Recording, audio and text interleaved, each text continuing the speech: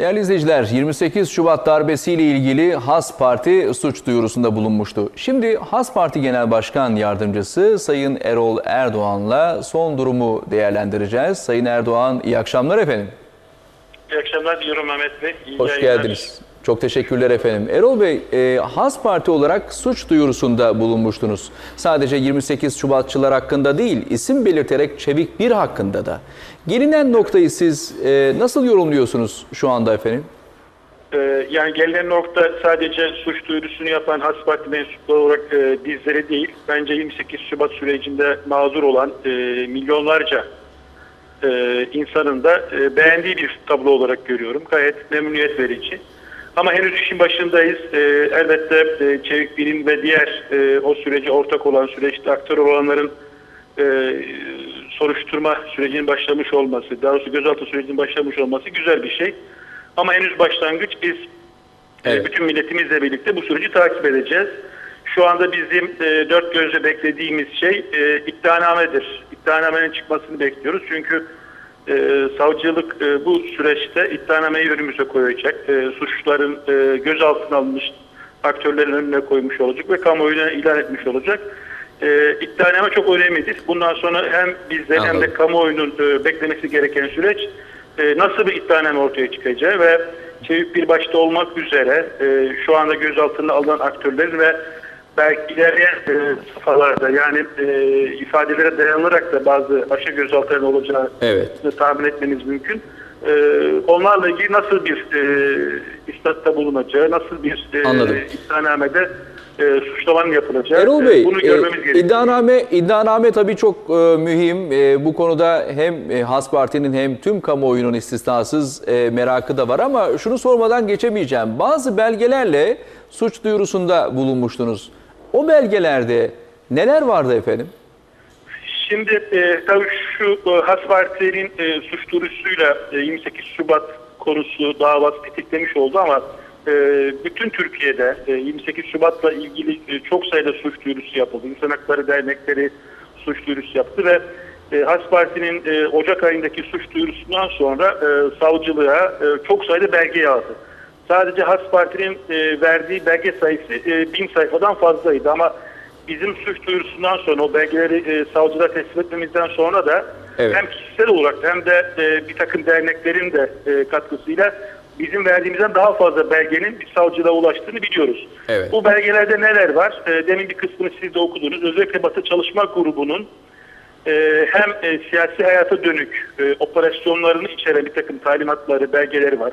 Mesela e, çok bildiğimiz e, Sayın e, Tansu Çiller'in e, onbaşı sözüyleden sonra e, Batı Çalışma Grubu'nun Türkiye'deki bütün Evet. askeri birliklere, askeri e, yetkililere e, Sayın Tansu Çiller'le ilgili nasıl yıpratılma kampanyasının e, yürütüleceğine dair bir talimat verdiğini e, biliyoruz da bu talimat yazısı da e, Has Parti'nin savcılara verdiği uluslararası yer alıyor. Yani Anladım. e, nasıl fakslar çekileceği, nasıl işte e, bir takım telgraflarla e, kamuoyunun yönlendirileceği, nasıl e, yazıda yazılması gerektiğini, hangi köşe yazarların hangi yazıları yazması gerektiğine dair de e, metinler orada var.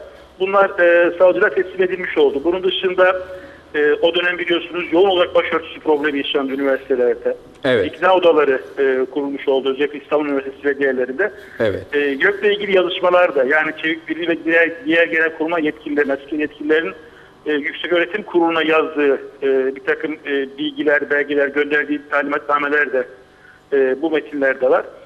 E, ayrıca demin sizin haberinizde geçti. E, işte basın kuruluşları, radyoların, televizyonların, yazarların fişlenmesiyle ilgili de e, yine e, yazılar ya da talimatnameler diyelim, andıç gibi bir takım çalışmalarda, belgelerde o bizim verdiğimiz dokümanların Evet. içerisinde var. E, tabii biz de bu dokümanları suç duyurusunu yapmayı e, planladığımızı duyurduğumuz zaman itibaren e, birçok yerden geldi. Bizzat mağdurların kendilerinden geldi ya da o dönem e, o belgeleri bir şekilde elde etmiş olan basın yayın kuruluşlarından gelmiş oldu. Bizim verdiğimiz belgelerin dışında tabii bir takım belgeler e, savcıda ulaşmış oldu. E, Erol Bey bundan yani- sonra peki Buyurun. bundan sonra efendim e, süreç nasıl işleyecek? Siz az önce iddianameyi bekliyoruz. Bu çok önemli dediyseniz de e, Has Parti olarak bundan sonraki Evet. tutumunuz ve çalışmalarınız nasıl olacak efendim?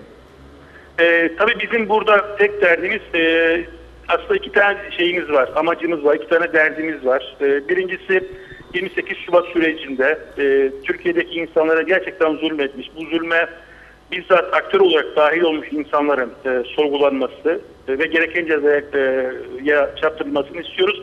Bu adaletin gereği, vicdanın gereğidir, insanlığımızın gereğidir. Evet. Bir bunun doğru yürümesi için e, süreci takip edeceğiz. İkincisi de e, bir daha Türkiye'de bu tür bu tür darbelerin olmaması için gereken siyasi çalışmalar var, hukuki çalışmalar var.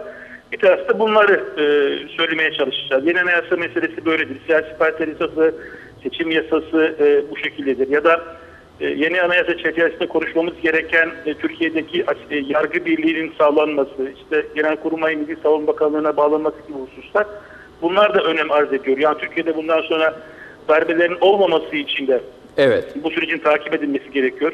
Hatırlarsınız Sayın e, eski başbakanlarımızdan, Cumhurbaşkanlarımızdan e, Turgut Özal e, bir dönem e, askeri pijamayla denetlemişti. Ve ondan sonra dedik ki ya Türkiye öyle bir noktaya geldi ki Türkiye'nin başbakanı e, bir askeri birliği pijamayla denetliyor, spor kıyafetiyle denetliyor. Bundan sonra Türkiye'de darbe mi olur demiştik ama ondan sonra e, 28 Şubat gibi 27 Nisan gibi iki tane çok ciddi Maalesef. e, darbeyle, muhtırayla karşılaşmış Maalesef, olduk. evet. Olağan dışı bir durumla karşılaşmış olduk. Dolayısıyla bugün belki e, işte darbeye karışanlar gözaltına alınmış oldu. Bir takım e, anayasa değişiklikler de oldu. E, hükümet bunları sağladı ama yine de Türkiye'de bundan sonra darbe olmaz. Türkiye'de bundan sonra siyaset e, inkıtaya uğramaz diye bir güvencemiz yok. Bu yolu ne kapatır Ee, Erol Bey? Ee, bu, bu güvenceyi ne verir bize, ne sağlar? E, bu güvenceyi Türkiye'de e, birincisi anayasa değişikliğidir. Ama bu anayasa değişikliğinde gerçekten demokratik, sivil, özgürlükçü ve katılımcı bir anayasa olması e, şartıyla Türkiye'de bundan sonra darbe ihtimalini ortadan kaldırır. Evet. E, bu önemli bir şey çünkü e, Kenan Evren de söylediği gibi Kenan Evren ne diyor e, mahkemeye çağrıldığı zaman ben diyor anayasal görevimi yerine getirdim. Evet. E, Sayın e, eski Cumhurbaşkanı'ndan Demirel de benzer bir ifadeyi kullanıyor. Yani kendilerini savunmak için ifadeyi kullanıyorlar. Dolayısıyla e, Türkiye'de bundan sonra hiç kimsenin yani ordunun kurumsal olarak ya da ordunun içindeki herhangi bir juntanın da darbe yapamayacağı şekilde bir defa yasal e, ve anayasal değişikliklerin yapılması gerekiyor. Bunun da başlangıcı gerçekten e, demin söylediğim gibi e, Peki. özgürlükçü, sivil ve demokratik bir anayasanın yapılmış olması gerekiyor.